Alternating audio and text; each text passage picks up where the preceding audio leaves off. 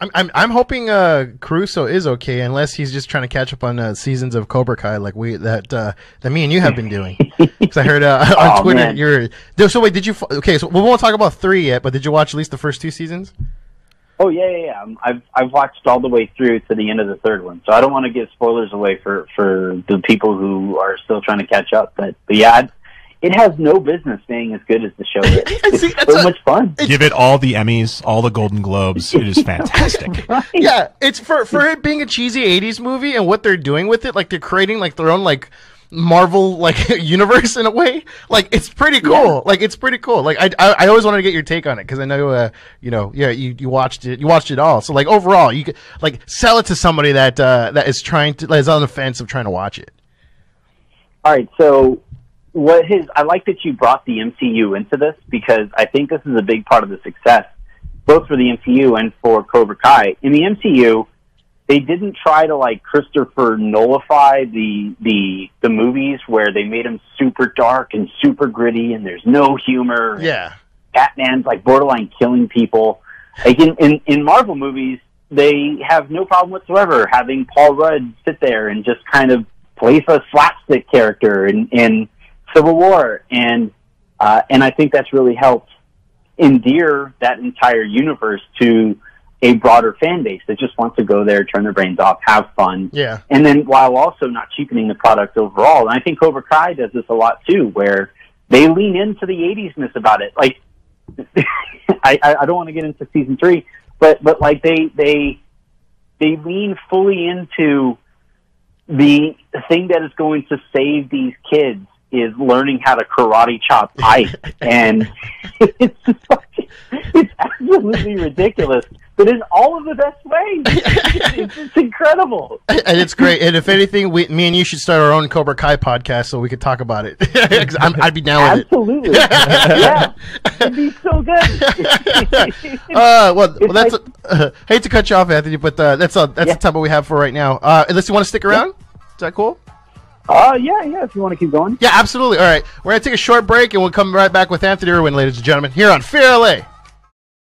uh, Mark Gonzales, Zac Elk, Mike Gary on the ones and twos. We got on the phone right now, Anthony Irwin, and uh, we left off on a cliffhanger, a cliffhanger of a question. We were talking about Cobra Kai, and you mentioned something about like how NBA were like letting in fans, and it was kind of like traumatic and stuff. And that's how I felt about season three, because I'm not again gonna give away any spoilers, but. There was a lot of bodies there, and I'm just like watching it, going like, "Was this shot in 2020?" Because there's a lot of people without masks on. yeah, I with I'm like I said, every time I see any kind of collection of people together, I'm just thinking, how did they do this? When was this done? I feel like the season two ended long enough ago that they would have shot season three and been relatively safe. I, I think it just depends on how long it took to to shoot that season three. But but yeah, I mean, I it's kind of impossible to uh, social distance in a movie that is based completely around fighting. I, I think that's that's kind of a, a tough line to, to straddle. But uh, so long as they did everything safely, and so long as they uh, everybody was out to get able to get out of there safely, uh, they produced a real like season three might have been my favorite season thus far. Like it was it was it was a really great season. They ended it really well.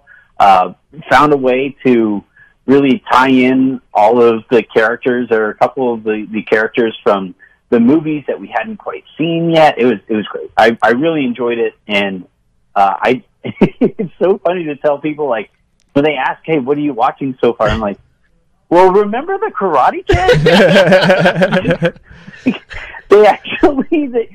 They, they put a sequel to it, like, but he's not a kid anymore. Like, that's the whole point. and he's still like for some reason though Ralph, Ralph Macchio like didn't do a single like curl even accidentally between between the Karate Kid shootings like way back in the 80s to now he just looks he just looks completely like his cha- his chest has been caved in and, and then that like he's there going up against the you know he's fighting against these these guys who uh have done any exercise whatsoever. And yeah, he's supposed to be this like underdog guy, and and and you're supposed to make that believable. But but it's it's not.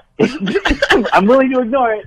I'm willing to ignore it because the show's great, but it's just not at all believable. No, let me. Okay, so in season one, I remember watching it, and like when the, he had to kick the cup of boba out of the other car dealer's hand, and when he kicked Uh-huh. it, I remember looking at the kick, and I'm someone that do does like Muay Thai, and I'm like looking at him like, yo, I could take Ralph Macchio, like I could whoop that ass. Like that kick was amateur, dude.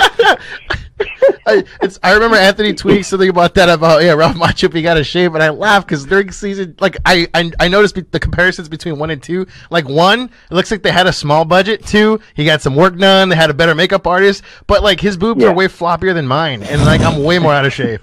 Like I, I, and I, I laughed so hard when he, when he tweeted that about it because I was like yeah what the heck dude? Like you're you're, you're in Hollywood. You're supposed to like at least do a couple push ups.